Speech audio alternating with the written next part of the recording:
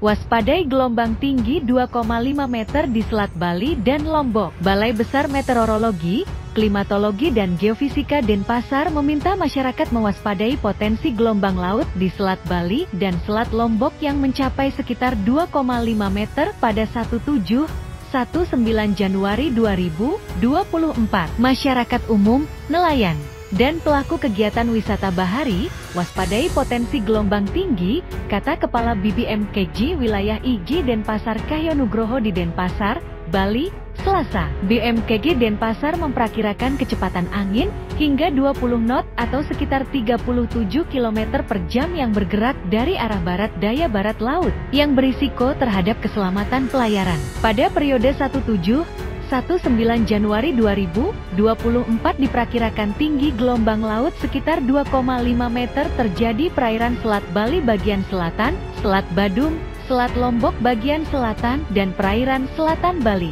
Diperkirakan ketinggian gelombang lautnya mencapai sekitar 2,5 meter. Karena itu, kata dia, pengguna perahu nelayan diminta waspadai kecepatan angin lebih dari 15 knot dan tinggi gelombang di atas 1,25 meter, dan operator kapal tongkang waspada saat angin berkecepatan lebih dari 16 knot dan tinggi gelombang di atas 1,5 meter.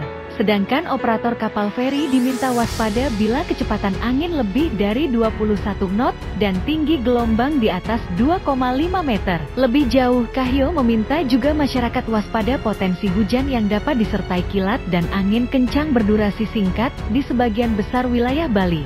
BMKG Denpasar mencatat kondisi itu disebabkan oleh indeks El Nino osilasi selatan mencapai plus 1,45. Indeks tersebut menurun dibandingkan pada Selasa yang mencapai plus 1,63 atau berada pada level moderat. Meski menurun, kata dia, namun indeks ENSO itu tidak signifikan terhadap peningkatan hujan di tanah air. Di sisi lain osilasi Maden Julian berada di kuadran 4 yang berkontribusi terhadap proses pembentukan awan hujan di wilayah Indonesia.